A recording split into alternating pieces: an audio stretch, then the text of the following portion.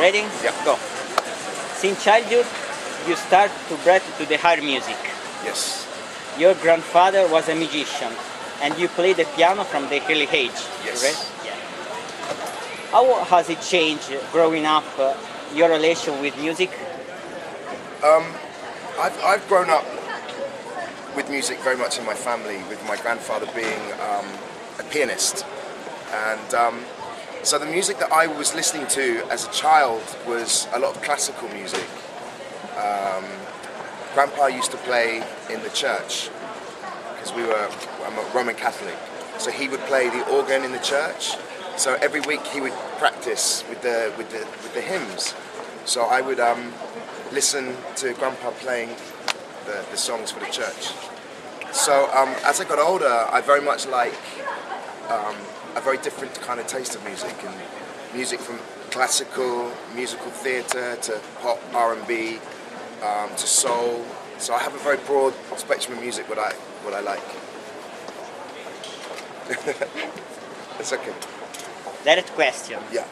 What inspires you, or from what you get inspiration when you write a song? My main inspiration is love. You see, I have like, uh, I'm a very passionate person. Um, I love being in love and the thought of love. So I like writing about love and thinking about what love feels like and um, how love has affected me in my life. And um, my father is, uh, my, I have a lot of Italian blood in me. So my mum says it's the, the Italian passion in me. Yeah. So yeah. For you, how important is in the music uh, the external experience, and how much the inner one? The what? Uh, in- for you, Yeah. how is important the external appearance in music, and how the in- inner one? I think for um, I think for music, for your own creativity, you have your own idea of what you want to create. But obviously, I'm in a band. I'm in blue, so we have to think externally about our market for blue and what our audience is and the kind of music that will appeal for our audience. So I mean, I guess we all have very very different types of ideas in our head about the music we want to make with blue and our own personal choice for music. You know but yeah, no, I, I, I love I love writing for Blue. I love um, me and Lee especially write really well together in the band, and because Lee thinks very similar to me. He's he's a he's a lover. You know, he loves love, and so we write we write many uh, many songs together. So, you started out of, in the music world with the band of, of Blue. Yes. How was the beginning? Have you encountered great difficult and have been tempted to the throat in the sponge? Uh, what give you the strength to go on? I think with Blue, you know, we, we were such a successful band, and um, not just in our own country, but all over the world, and especially in Italy. Um, and it happened so fast, you know, so quickly. Um, and I think that's why we needed to take a break because it was just everything became so crazy. Um, but now I think we've taken the break, we've found our own individuality, and we want to come back together to, to, to do it one more time. So now we have a new album which we just finished and we're oh. getting ready to release it. Yeah. The new single is called Hurt Lovers. We shot the video two weeks ago. Two weeks ago. The video, yeah, it's really good. Good. So, the last year, Would you like to see the, the video? Yeah. I have it on my computer, I'll show you. yeah, oh, I'll show you. Okay, thank you. Uh, Last year you meet by participating in Eurovision Song Contest. Ah, yeah. Where did you feel to get back on stage with your group after so long? The reason we did Eurovision was because we wanted to let the people of the Eurovision country that see it that, that Blue was back. Because we'd been away for six years, so we wanted to let everybody know that we were back as a band, and it was a great opportunity because it's a huge television program that every country gets to know we're back. So after the Eurovision, we went to write our album, make the album, and we've we've taken a long time because we want the album to be perfect, and the album is perfect. So it's a great album. Yeah. What happened to the other member of the group? Which ones? Everything. You know, we're, we're all really close and we all have a lot of um, love for one another. We've always been very, very close as a group. And um, one of the most one of the most important things about Blue is our friendship. We've always stayed very, very good friends. Um, Simon went off and did his own solo career, and Anthony went into theatre, which I, I did musical theatre as well. I did Legally Blonde and Chicago, and um, Lee um, did some TV shows. He did his singing as well. So we've all done different things. But now we're back together, and it feels better being together, much better. You have a solo album, Yes. Past Pre- Future Past, Yes. in 2007. Yeah, we all had a Yeah. go at doing the solo thing. Your music seems more mature than when you sing with the blue. Yeah, it's going back to my creativity of Yeah. being in love and writing love songs. Yeah. Uh, there, in particular, there was a song, Letter to God. Yes. What does this song mean to you? What's your relationship to God? To God? I have a very um, interesting relationship to God. I, I was brought up as a strict Catholic. Um, So, yeah. she's a she's a fan of you. oh, Yeah, thank you. Um, I was signed for you. Yeah, signed. yeah, Thank you. So, letter to God, it's about talking to God. You know, I love talking to God, and I, I as I said, I was brought up as a strict Catholic, um, and I was an altar boy, so I used to serve the mass for the priest.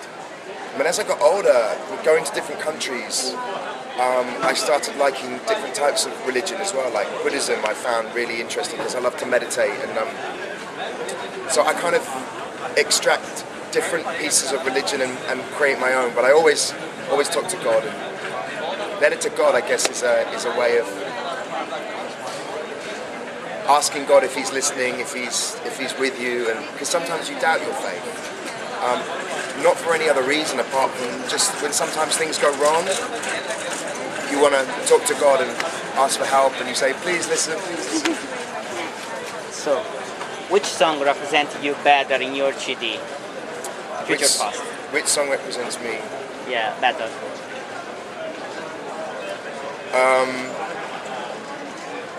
There was a song that I, my favourite song. Um, it's called um, "What Are We Waiting For," and I love that song. I, I don't know why. I just it was my favourite song. I wrote it about someone, and um, I guess it's just about wanting to take the leap of faith with somebody and, and take them by the hand. And you know, what are we waiting for? Let's just let's just do it. It sums me up. I'm I'm a very impatient person. I'm too impatient. I'm impatient. Yeah. You are a versatile artist. Song, recited to theater, work in TV, present. Do you like get in the game? Uh, what do you like more between these activity? Which you feel closer to you? I'm, I'm very lucky that I've done theatre, I've done TV, I've done music. But you know, my passion is being with Blue. I love being with the boys. That's where my career started. So I owe everything to, to Blue, and I'm very, um, I'm very grateful that we have another opportunity to do a new album again. So I love doing theatre, I love doing TV, but my passion is being back with, with Blue. You know, that's that's what my passion is, and, and I love the boys. And I'm really excited for this new album with, with Blue. In our visit to London, we don't miss anything. We request an interview with Andrew Lloyd Webber. Yes. Uh, we, we want you have worked. What impression do you have to work with the second monster of the theater world? I love working with Andrew Lloyd Webber and um, the song I Believe My Heart I, I, I really love doing. I love making the music video and it was such a great song to do and it was again very me about love and all that. So I really love working with Andrew Lloyd Webber and to have an opportunity to work with somebody who's so talented and so inspirational in the musical theatre world, you know, that was like a dream come true working with him. So, uh, you know, Yeah. hey Andrew. You have worked in the musical Chicago. Yes. Tell us about your experience. Um, I just went back actually and, and played Billy Flynn again um, only last month in Chicago in August. I did it again just for a few weeks on tour and it was great. I loved it. Um, and it's such a great it's such a great character because he's Billy Flynn is such is such a great character to play, and I really enjoyed playing playing that part. Um, and I just, you know, I, I loved I loved it, and it's a great show, Chicago. The music's so great, and I love singing the songs and being in character. Obviously, I have to play like an American lawyer, so I have to have an American accent, and it was good.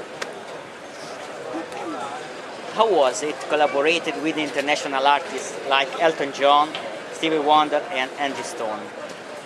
I mean, we were very lucky in Blue to work with, with the best artists in the world. You know, Elton John is just a, a, an amazing talent, such a great career, and Stevie Wonder as well. Um, an amazing voice, hugely talented man. Um, so for us to work with these artists and Angie Stone, you know, it was just, it was like a dream come true. I kept pinching myself and was like, is this real? Is this real? Yeah. In your career, you have been around the world. What's what is the country that you like more? What do you remember? Um, I think for Blue, when I was with Blue, one of our biggest memories, and you can ask any of the boys this, was when we performed in, in Rome and we did the Colosseum. You know, the uh, I just remember coming out on stage and all the Italian, it was so high. What is it called? Is it the Colosseum we performed at? Yeah. And it was Yeah. just like you looked up like that and there was just people up, Yeah. up, up, up, up all around, Yeah. like crazy. And I remember stepping out on stage and the Italians were so, they loved Blue. So it was like, wow. Yeah, we're just yeah. like, oh my God Yeah. looking around, it was amazing. So that was one of the best concerts we ever did. It was in Italy. We come from Lucca, a city that we have visited uh, with Luke Blue during summer festival in 2005. Yeah. She's, she's Oh, you came. yeah. What do you remember of our city? What impression did you have? According to you, since you have turned a bit of Tuscany, what is in common with the UK, our land? I think what I love about Italy, first of all, is um, everybody's so friendly in Italy. When I've been there, um, you as a, as a race, as a, as a nation, um, everybody in Italy has such great style. You know, the, the clothes, everyone's very passionate about the food, and I love food and I love clothes. So Yeah. that's why I love going to Italy. And the Yeah. people are always so, um, you know, so they come up to you and they, um, what do they say? Um, is it bellissimo? Yeah. And then they they, they grab it to bellissimo, bellissimo.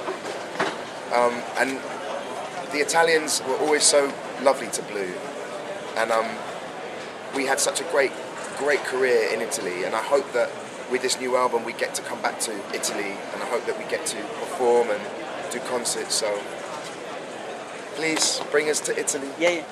yeah. a curiosity. There is a, an episode, say, eccentric, that happening uh, to you during an interview. There was what?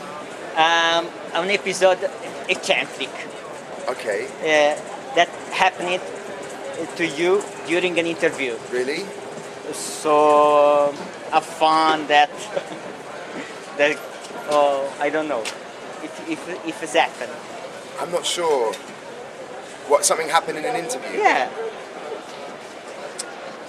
No, not really. I can't really think. I just I've just got off a flight from Los Angeles, so my brain is like. Next question. Yeah. Is is that hard question. Okay, What's your relationship with the fan? with our fans. Yeah, your relationship. You know we're we're very lucky to have such great fans, and um, I think nowadays it's easier for uh, fans to get in contact with you because of Twitter. Uh, do you have Twitter in Italy or not? Yeah, yeah. So if you want to follow me at Mr. Duncan James, I have lots of Italian fans on Twitter. Yeah. follow me, I follow you back, and um, that means that the fans can speak to you directly and they can get a, you know, a, a sense of what I'm doing instantly. So, so in a minute, I'm going to tweet that I'm with you guys. Yeah. What uh, what are your future plans? We know that you have a CD with the blue. Yes. Can you tell us when you come out? According to you, what will be characterized? Well, the first single is called Hurt Lovers, and we want to release it this year before Christmas, and the album will be out beginning of next year. Um, and we want to come to Italy, and we want to come and promote it. Um, so yeah, it's a, it's a great it's a great song. It's a it's very typical blue. It sounds a little bit like Breathe Easy, that kind of style, like you know A chi mi dice.